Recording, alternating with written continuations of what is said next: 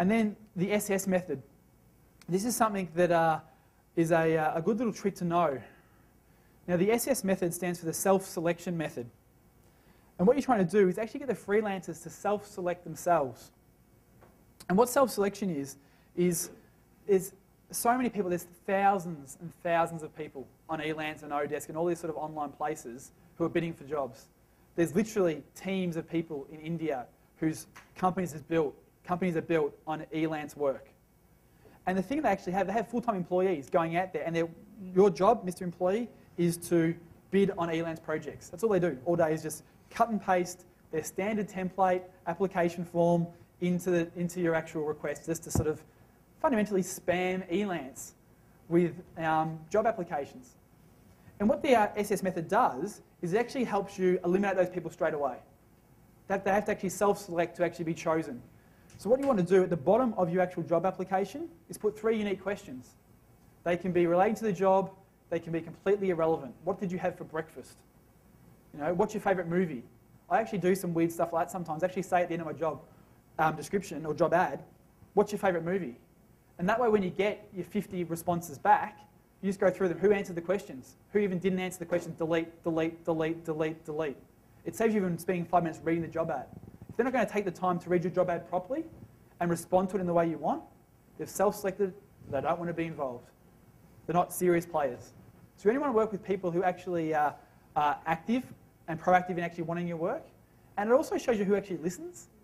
Because one of the thing is, things too is that if people aren't going to actually read your job ad properly and actually answer those questions for you, how are they going to actually work with you when you actually ask them to do something? How responsive are they going to be? Are they actually going to listen to your job ad properly, your job brief properly, your feedback properly? So you want to give some actual curveballs in the up front just to actually limit the pool of people you have to go through. Because one of the hardest things is actually going through and selecting these people. So if you can put some barriers in place to make them select for yourself, select themselves out, makes your job so much easier.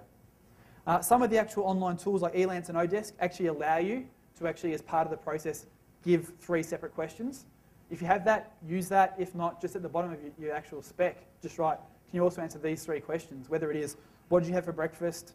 One of the things I really like to do, if it's actually a, a decent sized job, is um, given your experience in this area, what other things have I missed in my brief that you think would make this project better? And actually make them think about it. Make them offer some value. Well, look, I would actually put the opt-in box a bit differently. I found this really works. Or um, in some software development stuff, I actually think doing it on uh, Adobe Air, which is cross-platform, would be better for you because it means you can actually run it on Mac and PC. You know, that might be their response. So ask them some questions actually going to make them value add to you. Because that's going to show you wh where the premium people come from. Because again, it's all about geo arbitrage. You might find that you can get a particular task done for 100 bucks, but it's going to show you why someone's bidding you $500. It's going to actually tell you what the value they're going to add. And you can say, well, shit, this person's extra value and thoughts they put into this is worth the extra $200 I'm going to spend, so I'm going to get a better value at the end of the day. So it's really important to use this SS method to actually make people self-select. Makes it easy for you to choose them, makes them stand out better, makes your job a lot, lot easier in getting value.